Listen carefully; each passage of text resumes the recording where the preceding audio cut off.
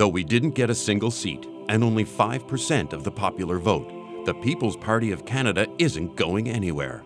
To prove that, the PPC is thrilled to announce our roster of new star candidates for the next federal election. The cream of the crop, like.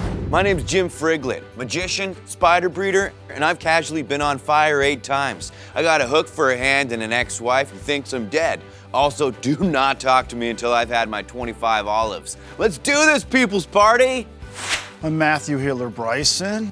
I once went to jail for butting one of the horses at medieval times. I promise, if elected, to finish eating that horse. I am a virgin, so there's that. And uh, I too have a hook for a hand. So. My name is Miami Strong. I run a very unpopular fart based TikTok, and I believe that we should have more lizards in the military. I'm a proud member of the Double 19 Club, which is when you personally contract COVID 19 19 times. George Stroumboulopoulos has a restraining order against me, and you're not seeing double. I have two hooks for hands. Ha! I'm Lady Kid Rock.